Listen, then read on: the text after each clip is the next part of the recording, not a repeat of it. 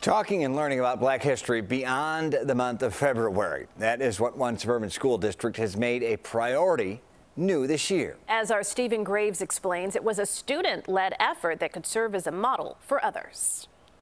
In all her years of learning, Denaria Keys noticed something missing. Been in high school four years. Her history, black history, she says, was pretty much non existent. So to have a whole course, it's exciting. You know, it's something new, it's something I never had. The Proviso Math and Science Academy senior helped implement a new district-wide curriculum this year.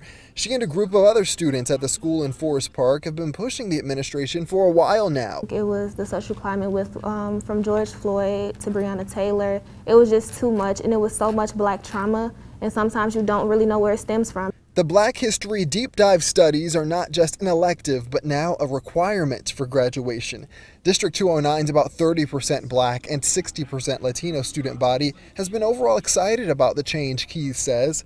Same for the predominantly white teaching staff. And do you wish you had this as a student?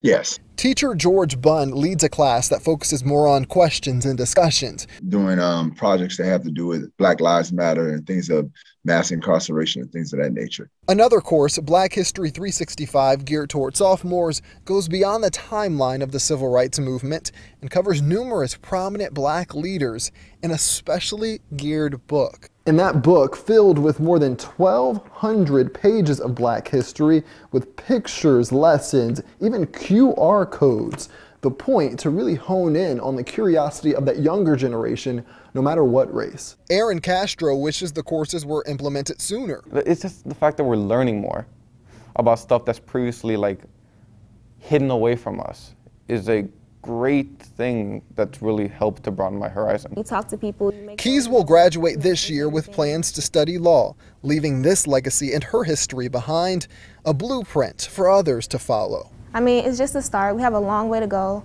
but it's something to start. In Forest Park, Steven Graves, CBS 2 News.